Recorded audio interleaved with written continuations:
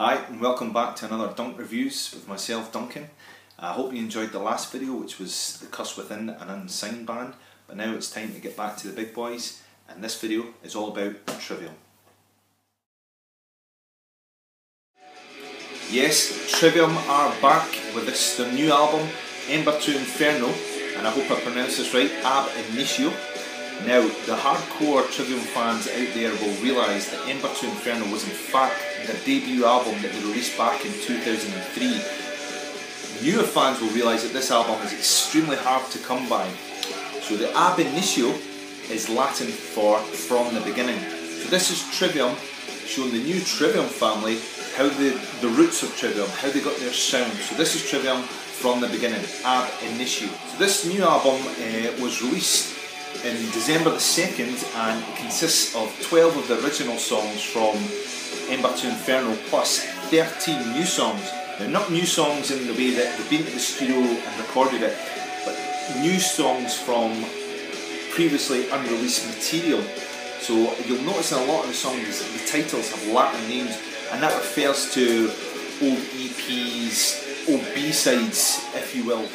Now this album could split the Trivium fans. You're going to have your passionate Trivium fans that were there from the beginning that will appreciate these the roots of Trivium.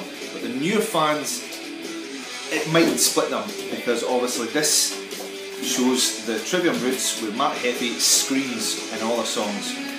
A lot of the fans didn't like it then and became kind of new to Trivium since they've kind of cut that out, just like M Shadows did with Avenged Sevenfold. They too, you know, before City Evil, that was they were mostly screaming.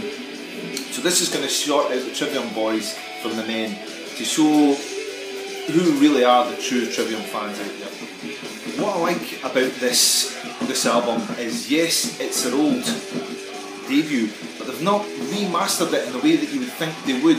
They've kept the songs raw, it shows you the power and passion. You know, it is it's vintage Trivium. It's how they became the power force that they are in thrash metal today.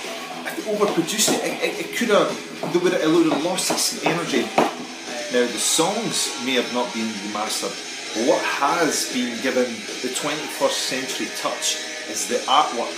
Now for me this is one of my favourite things about this album. It's the album cover as you would have seen at the beginning of the video. As soon as I seen that, all I could think was, that has got my new tattoo written all over it. Ab Initio shows the pure talent of Trivium. It shows how they became so respected in the thrash metal industry today. And songs such as Pillars of Serpent, with the, the intro for that just shows even at a young age how technically sound this band were and how tight they were as a unit. Songs such as Pain, and again you'll see the Latin afterwards, Rubber, which is red I believe, they've kept that, as I say, unmastered. It's raw, it's powerful, it gets you going. But on the flip side, some of the songs that they've kept, it can sound a bit amateurish. Songs such as Lake of Fire, the vocals, it, it could have done with some extra editing, some mastering, just to bring it up to where they are.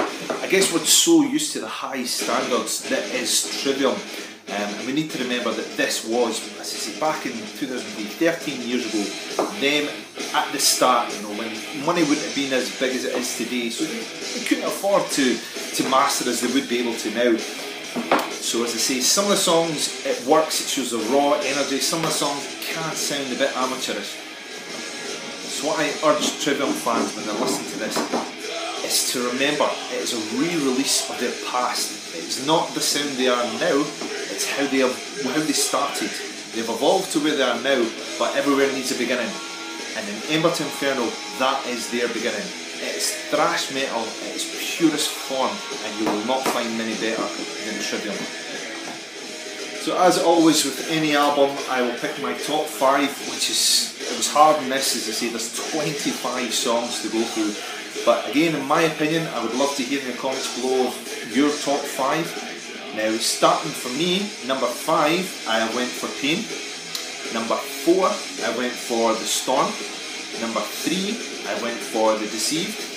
Number two, I went for Thrust. And number one, I went for the epic Pillars of Serpent. Enjoy this album, enjoy Trivium from the beginning, and tune in next week for more reviews.